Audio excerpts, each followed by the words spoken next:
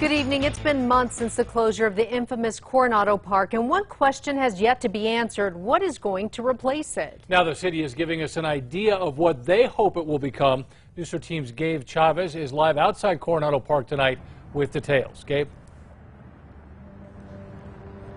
Dean and Jessica, the park has been closed since August, and it's been up in the air about what will come of it. Now, the mayor's asking the legislature to help fund an Albuquerque fire rescue training facility to take its spot.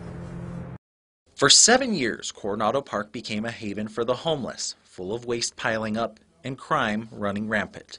When the city finally shut it down in August, many in the community rejoiced. It's like when you run a long race and you finally get to the end and go, thank God. But it left many to wonder what happens next for the property. At the time, the mayor floated a few suggestions, including revamping it as a park and building affordable housing.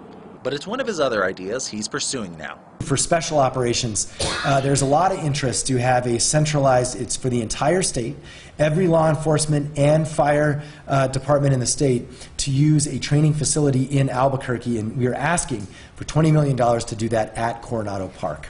The city submitted a capital outlay request to the legislature requesting $20 million for an AFR training facility.